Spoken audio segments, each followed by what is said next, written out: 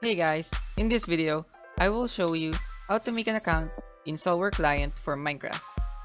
Accounts are needed when you want to use a skin, and in most cases you will need an account for servers that requires email to enter. If you don't have one, you won't be able to use the skin while playing on a Salwyrr Client. To make an account in Salwyrr Client, search for Salwyrr account.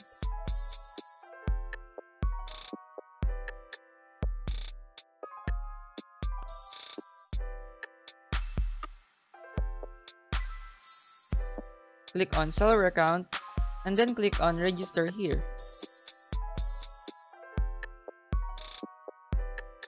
Fill up this form by entering your username, email, password, and then confirm your password.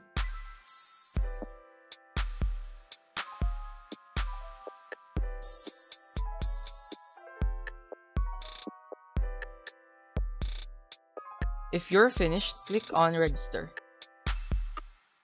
I was not supposed to show you how to use it in the launcher because I don't use it, but if you want, launch and open your Salwyrr client, click on connect, and put in your email address and password.